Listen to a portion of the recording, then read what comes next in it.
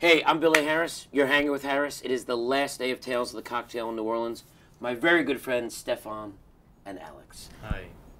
The first thing that comes to my mind, I've been to a lot of these cocktail events, is that bitters in general is making a real big comeback, right? We were living in a different world five years ago. Yeah. So there was hardly any bitters available, especially not in Germany. And there wasn't even Twitter, so God, it's crazy. Well, Twitter was around, I think. They just had their fifth anniversary. bitters, Twitter, it's crazy. You know, we started at the same time, so Sure. they really took off. What would you do here with the lemon bitters? Makes a beautiful cosmopolitan. It does make. Or it as people call it in uh, in New Orleans, the Cosmo Martini. the Cosmo Martini, right? lemon bitter's great for the Cosmopolitan. So what about uh, what about the um, the Jerry Thomas besides the Tom Bomb? So You know the the Jerry Thomas actually the story behind is uh, we actually um, wanted to recreate the original recipe of the Jerry Thomas on decanter bitters, which was given in the very first cocktail book from Sure. Jerry Thomas 1862. So. Um, but because one of the ingredients is illegal now in the United States, we had to replace it with some other ingredients. Finally, we managed to uh, get the the the right uh, flavor profile, the original flavor profile, Right. by using only legal ingredients, and uh, it can be used like a like a regular aromatic bitters. What else do we have here? Let's take a peek. This is actually That's quite that's quite unusual stuff. Celery bitters, So, yeah, right? Pretty you cool. know, there was celery bitters around uh, in the 19th century, yeah, which was used as a stimulator, especially for men. So Yes. brought men power back. remind me to take that bottle with yeah, me. take right? it with you. Seriously. It's yours. and uh, so My wife's like, "Oh, celery bitters, fantastic." so It's liquid Viagra. It, it was actually really, gone. seriously, give me this. I'm gonna put this in my pocket.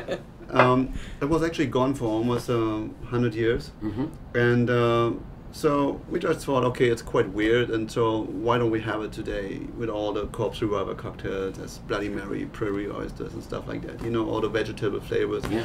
Um, people went to all fruits on the planet, but no vegetables. Right. So, So celery- hey, want, go with celery. yeah, go for celery. And it was uh, the award winner, winner last year. Yeah, it says Spirit of the Year right there, which is great. Where is everything made in Germany? Or you guys make this, or Yes. all by you? yeah, Yeah. Creole, Creole bitters, which yeah. is perfect for uh, New Orleans here, right? What would he, uh, what would be the right cocktail to?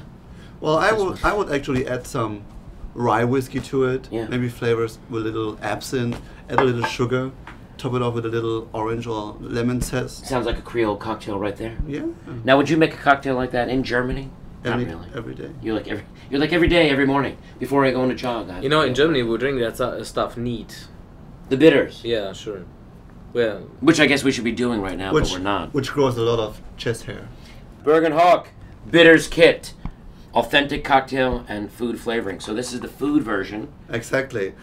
All our bitters uh, on under the Bitter Truth label are considered as spirits in the United States. Sure.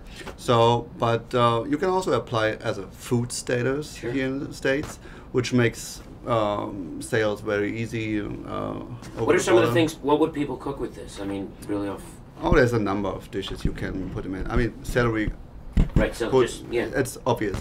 Uh, but also for, for cookies and stuff like that, you flavor it with a little You orange, you know, there's some, aromatic. there's stuff some like guys that used to uh, um, to uh, flavor their mayonnaise with bitters, for example. Right, which would make sense. Yeah, why not? Makes sense to me. I love the little travel packs. I normally go with my shaving cream, my toothpaste, but now I'm going to travel with my bitters, the bitter truth.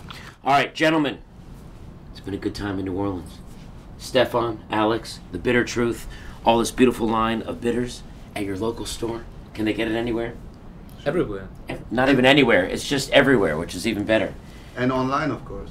Of course. And I assume it's thebittertruth.com. You're like, no, that's not the website. Yes, thebittertruth.com. Thank God I got that right, right? Yeah. All right, gentlemen, this is awesome. Thanks for hanging with Harris. Was it good Yeah. for you? It was a pleasure to meet It was a pleasure. Thanks for having us. My pleasure. See you soon. Look at that big. It looks like you just killed a rabbit and put it on and made a microphone out of it.